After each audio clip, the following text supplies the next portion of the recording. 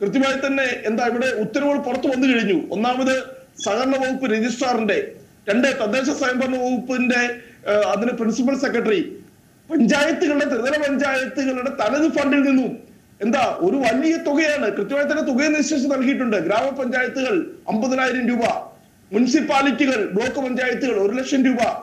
അതുപോലെ തന്നെ ഈ പറഞ്ഞ കോർപ്പറേഷനുകൾ രണ്ട് ലക്ഷം രൂപ ജില്ലാ പഞ്ചായത്ത് മൂന്ന് ലക്ഷം രൂപ. ജില്ലാ പഞ്ചായത്ത് ഒരു ജില്ലയിൽ ആകെ മൂന്ന് ലക്ഷമാണോ അല്ല നടക്കുന്നത്? ജില്ലാ പഞ്ചായത്തിന്റെ കീഴിൽ എവിടെയൊക്കെ നിയമസഭാ മണ്ഡലങ്ങളുണ്ടോ ഓരോരുത്തർക്കും മൂന്ന് ലക്ഷം രൂപ വെച്ച് കൊടുക്കാൻ വേണ്ടിയാണ് പറഞ്ഞിരിക്കുന്നത്. എവിടെ നിന്നാ? ജില്ലാ പഞ്ചായത്തിന് തനത് ഫണ്ട് നമ്മളിൽ നിന്ന് നികുതിയായിട്ടും മറ്റു വരുമാന മാർഗങ്ങളുമായിട്ട് അല്ല സർക്കാർ കൊടുത്ത ഫണ്ടല്ല ഇവരുടെ തനത് ഫണ്ടിൽ നിന്നും എന്ത് ചെയ്യുക വികസന ആവശ്യങ്ങൾക്ക് വേണ്ടി ഈ തനത് ഫണ്ട് ആർക്ക് വേണ്ടിയാ? ഇവിടുത്തെ വികസന ആവശ്യങ്ങൾക്ക് വേണ്ടിയാ.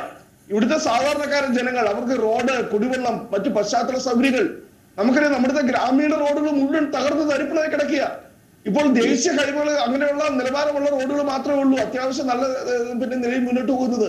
നിങ്ങൾ പരിശോധിക്കണം. കഴിഞ്ഞ കാലവർഷത്തിന് ശേഷം ജൂൺ മാസം ഉണ്ടായ കാലവർഷത്തിന് ശേഷം എത്ര മാസങ്ങൾ പിന്നിട്ടിരിക്കുന്നു? മുഴുവൻ ഗ്രാമീണ റോഡുകളും തകർന്ന് തരിപ്പണായി കിടക്കുക ആ ഗ്രാമീണ റോഡുകൾ പുനരുദ്ധരിക്കുവാൻ ഒരു പണവും കൊടുക്കുവാനായിട്ട് ഇവിടുത്തെ ത്രിതല പഞ്ചായത്തുകൾക്ക് കഴിയുന്നില്ല.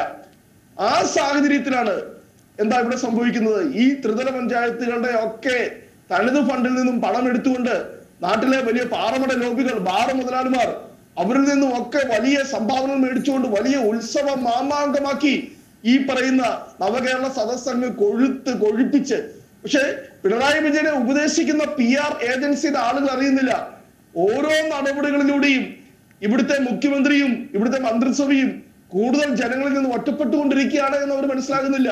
ഇതെല്ലാം ജനം കണ്ടുകൊണ്ട് നിൽക്കുക ക്ഷേമ പെൻഷനുകൾ മുടങ്ങി നിൽക്കുന്നു. സ്കൂളിലെ ഉച്ചക്കഞ്ഞ് മുടങ്ങി നിൽക്കുന്നു. കാരുണ്യ പദ്ധതി ആയിരം കോടിയുടെ കുടിശ്ശിക നിൽക്കുന്നു. കുടുംബശ്രീ വനിതകൾ അവർ നമുക്ക് ഭക്ഷണം തന്നതിന്റെ പേരിൽ അവർ സെക്രട്ടേറിയറ്റിന് നിരാഹാരം കിടക്കുന്നു.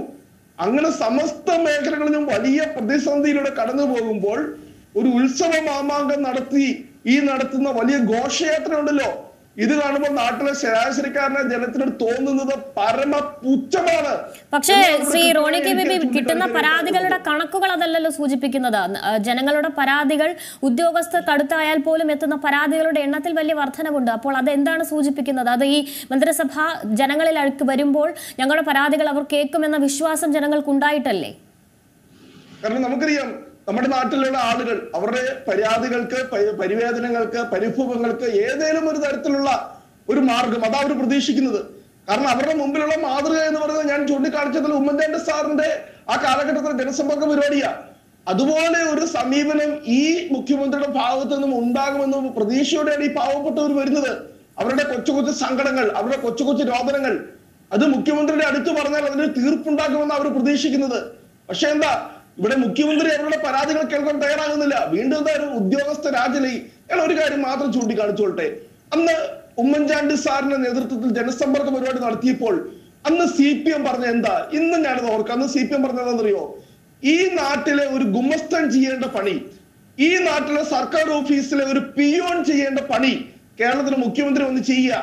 അത് ഈ നാട്ടിലെ ഭരണ സംവിധാനത്തിന്റെ ബ്യൂറോക്രസിയുടെ തകർച്ചയുടെ ഉദാഹരണമാണ് കാരണം ഒരു ഗുമസ്തനോ ഒരു പിയൂണോ വിചാരിച്ചിട്ട് ഒരു പരാതിക്ക് പരിഹാരം ഉണ്ടാക്കാൻ കഴിയാത്തതിനാൽ മുഖ്യമന്ത്രി നേരിട്ട് വന്ന് ആ പരാതി കേൾക്കുന്നത് തീർപ്പ് കൽപ്പിക്കുന്നു. അത് ഈ മുഖ്യമന്ത്രിയുടെ കീഴിലുള്ള ബ്യൂറോക്രസിയുടെ പരാജയമാണ് എന്ന് പറഞ്ഞ സി പി എം ഇപ്പോൾ എന്താ ചെയ്തുകൊണ്ടിരിക്കുന്നത്. അതേ മാതൃക തന്നെ സ്വീകരിച്ചുകൊണ്ട് ഒരു വ്യത്യാസമേ ഉള്ളൂ. അന്ന് ഈ പരാതികൾ കേൾക്കുമ്പോൾ അതിന് പരിഹാരം ഉണ്ടായിരുന്നു. പക്ഷെ ഇന്നെന്താ? നമ്മുടെ നാട്ടിലെ സാധാരണക്കാരും പാവപ്പെട്ടവരും ഒക്കെ അവരുടെ പരിവേദനകളും പരിഭവങ്ങളും വിഷമങ്ങളും സങ്കടങ്ങളും ഒക്കെ ആയിട്ട് ഓടി വരുക എന്തേലും മാർ ഒരു മാർഗം ഉണ്ടായിക്കോട്ടെ എന്തേലും ഒരു പരിഹാരം ഉണ്ടായിക്കോട്ടെ. ഇതിൽ വരുന്ന കൂടുതൽ നമുക്കറിയാം. മുഖ്യമന്ത്രി ദുരിതാശ്വാസ നിധിയിൽ നിന്നും ഒക്കെ സഹായങ്ങൾ പിന്നെ അപേക്ഷിച്ചുകൊണ്ട് ചികിത്സയ്ക്ക് വേണ്ടിയിട്ടുള്ള സഹായമൊക്കെ അപേക്ഷിച്ചുകൊണ്ട്. കാരണം അവർ ഓർക്കുന്നത് ഉമ്മൻചാണ്ടി സാറിന്റെ കാലത്തൊക്കെ കൊടുത്തതുപോലെ കിട്ടുമെന്നാ പറയുന്നത്. പക്ഷെ എന്താ അവരുടെ സങ്കടങ്ങൾ കേൾക്കുവാനായിട്ട് ഈ മുഖ്യമന്ത്രി തയ്യാറാകുന്നില്ല. ഇതിനകത്ത് എന്ത് ഫോളോ അപ്പ് ആണ് ഉണ്ടാകുന്നത്? ഈ പറയുന്ന ഉദ്യോഗസ്ഥന്മാരുടെ കുറെ പരാതികൾ ഇവിടെ സ്വീകരിച്ചു വെക്കുന്നതല്ലാതെ അത് എന്ത് തുടർ നടപടികളാണ് ഉണ്ടാകുന്നത്? അവിടെയാണ് നമ്മൾ ഇതിന്റെ വിജയ പരാജയങ്ങൾ നമ്മൾ വിലയിരുത്തേണ്ടത്. എന്ത് തീരുമാനം ഉണ്ടാകുന്നു? ഇതിന് എന്താ ഇത്ര ഈ ഒരു മാമാങ്കം നടത്തി ആഘോഷം നടത്തി ധൂർത്ത് നടത്തി ആഡംബരം നടത്തി ഈ പരിപാടി നടത്തേണ്ടതുണ്ടോ? മുഖ്യമന്ത്രിക്ക് വളരെ കൃത്യമായി തന്നെ അല്ലെങ്കിൽ ഒരു തിട്ടൂരം അങ്ങ് തിരുവനന്തപുരത്ത് നിറയ്ക്കാൻ മതി. കിട്ടുന്ന പരാതികൾ അല്ലെങ്കിൽ എന്താ ഈ പറഞ്ഞ ഫയൽ തീർപ്പ് സദസ്സുകൾ നടത്താൻ ഉദ്യോഗസ്ഥന്മാരെ കൊണ്ട് അല്ലെങ്കിൽ എന്താ ഈ പറയുന്ന കിട്ടുന്ന പരാതികൾ ഇത്ര തീയതിക്കകം ഇത്ര അതാണ് ഇച്ഛാശക്തിയുള്ള ഒരു മുഖ്യമന്ത്രി ചെയ്യേണ്ടത്. ഉദ്യോഗസ്ഥന്മാരെ കൊണ്ട് അത് വില്ലേജ് ഓഫീസ് ആയിക്കോട്ടെ സർക്കാർ ഓഫീസ് ആയിക്കോട്ടെ താലൂക്ക് ഓഫീസ് ആയിക്കോട്ടെ ഏത് ഓഫീസ് ആയിക്കോട്ടെ ഈ കിട്ടുന്ന പരാതികളിൽ ഇത്ര ദിവസത്തിനകം കൃത്യമായ തീർപ്പുണ്ടാകണമെന്ന് തിട്ടൂരമിറക്കി അത് നടപ്പാക്കുക മുഖ്യമന്ത്രി ചെയ്യേണ്ടത്. അല്ലാതെ ഇങ്ങനെ വന്ന് ഒരു ഈ പറയുന്ന ഒരു എക്സിബിഷനിസം ഇതാ എന്താ സംഭവിച്ചുകൊണ്ടിരിക്കുന്നത്? ഒരു പ്രദർശന വസ്തുവായി ഒരു വലിയ ആഡംബര വാഹനത്തിൽ ഒന്നൊന്നര കോടി രൂപ മുടക്കി ഒരു ആഡംബര വാഹനം ഇറക്കി. അതിന്റെ അകത്ത് സർവ ശീതീകരിച്ച എ സി സംവിധാനങ്ങളിൽ ഇരുന്നുകൊണ്ട് മുഖ്യമന്ത്രി പരിവാരങ്ങളും ഈ നാട്ടിലെ ജനങ്ങളെ നോക്കി പല്ലിളിക്കുകയാണ്. ഏറ്റവും പുതിയ വാർത്തകളും വിശേഷങ്ങളും വിരൽ തുമ്പിലറിയാൻ സി മലയാളം ന്യൂസ്. എല്ലാ ഡിജിറ്റൽ പ്ലാറ്റ്ഫോമുകളിലും ലഭ്യം.